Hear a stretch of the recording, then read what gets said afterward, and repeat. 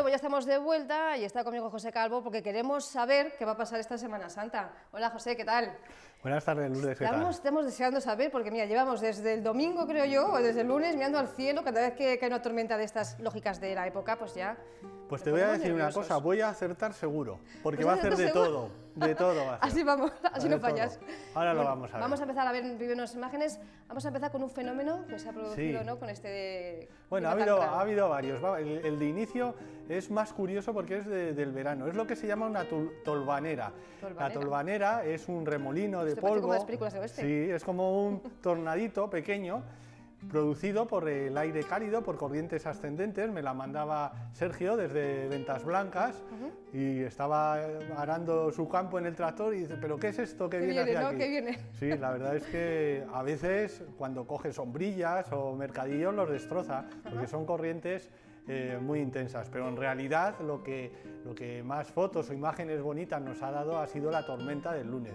Ya Laura desde Soter nos enviaba esa imagen de un cumulonimbus arcus por esa forma que, que tiene ahí, fíjate esta imagen es de- desde Logroño, fíjate ese frente de avance y esa precipitación que viene tras él, que muchas veces cuando coge, cuando tiene esa forma blanca es en forma de granizo, se asocian a precipitaciones en forma de tormenta con rayos, como el que podemos ver ahí, son nubes muy desarrolladas, nubes que pueden tener entre 8 y 10 kilómetros de altitud y que se desarrollan tanto por la presencia vemos, de...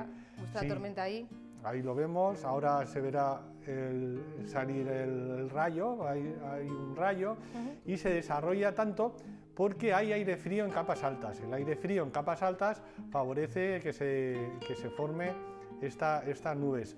Aquí está puesto en marcha, fíjate cómo, cómo avanzaba, además Sí. era curiosa, porque no sé si se verá, en, en la televisión es difícil, pero había muchos mosquitos, Había porque el ambiente era suave, era húmedo, pero fíjate el frente de avance, la cortina de precipitación cayendo, son precipitaciones muy intensas, pero muy locales, en zonas muy concretas, por lo tanto, fíjate, ahí eso que corresponde más o menos a Mm. la zona de Yécora, pues ahí pueden caer muchos litros de agua y sin embargo en Logroño vemos ese- nada. Ese rayo ahí, ¿eh?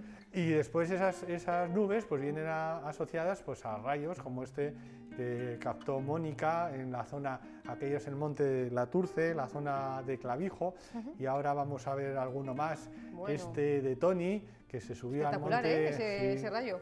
de Cantabria y fíjate, por la noche dije, no arriesgues tanto porque algún día Sí, nos porque lo vamos, vas a traer muy cerca. un poquito de miedo esos rayos, Sí. ¿eh?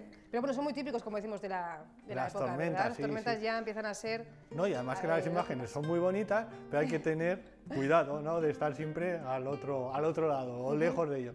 Esta es una imagen del Valle del Iregua y ya después de la tormenta, pues lo que llega es la calma, ¿no? Como dice el refrán. y el arco iris, como este que captaba Marian desde Logroño, como ves esa nube en forma de coliflor, Sí, que es sí. el cúmulo nimbo, y la precipitación, cuando le, cuando le dan los rayos del sol, pues es cuando se producen esos, esos arcoíris. Ahora vamos a ver al- alguno más, como este de José Javier, desde la zona de Cervera. También ha, ha llo- ha llovido bastante en toda la En Rioja. toda la Rioja, ¿no? ha Así en dejado general. tanta precipitación, Mira qué a lo bonito mejor. este de Valgañón, ¿eh? Este de Yon, Doble, ¿no? efectivamente, sí, un arcoíris doble. Los colores están invertidos en los arcoíris dobles. Lo que te decía, que no ha dejado tanta precipitación como la esperada, Sí. pero sí que ha regado bien eh, prácticamente toda la Bueno,